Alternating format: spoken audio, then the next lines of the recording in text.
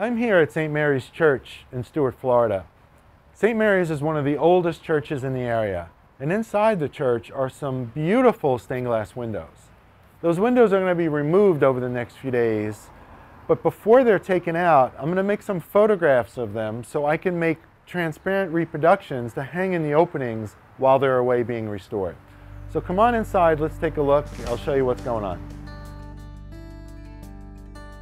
So these stained glass windows were originally installed in the 60s. Each window beautifully illustrates a story from the Bible. But unfortunately, they've warped and they've cracked over the years. They need to be restored. They'll be removed over the next few days, and my photographs will hang in their place. The first step is to photograph the windows in place using their natural backlight. I originally photographed these windows using a Nikon D800 few years ago for a book project we did. Today I'm updating these images with my Nikon D810. The Nikon 800 series are high resolution and work very well in low light. It will provide me with clean, perfectly rendered files with accurate color so I can print beautiful transparencies on my wide format Epson printer. So while I'm preparing the files to be printed, the windows are being removed at the church by representatives from architectural glass company Willet Hauser.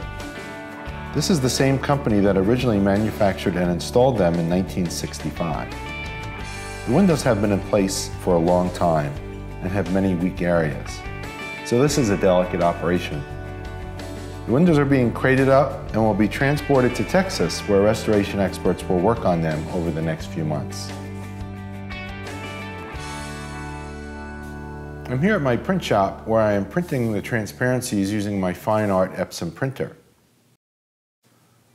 I'm printing them on an inkjet film made by Sihl Digital Imaging called WindowGraphx Film.